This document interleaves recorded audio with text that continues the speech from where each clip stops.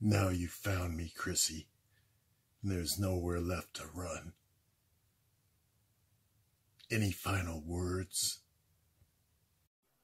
I found you, Dagon, and now it's time for our final conflict.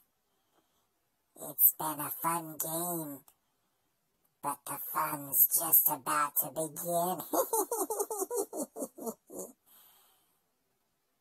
Do you think you have what it takes to beat me at my own game? I don't think so. The time is almost here now, Chrissy. Are you ready?